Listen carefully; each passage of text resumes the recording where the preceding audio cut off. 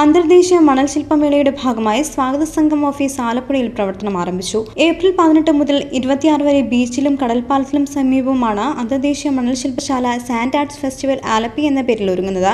വിദേശികളും സ്വദേശികളും ഫെസ്റ്റിവൽ മത്സരാർത്ഥികളായി പങ്കെടുക്കും. സംസ്ഥാന ടൂറിസം വകുപ്പിന്റെയും ഡി ടി പി സിയുടെയും സംയുക്താഭിമുഖ്യത്തിലാണ് ഫെസ്റ്റിവൽ സംഘടിപ്പിക്കുന്നത്.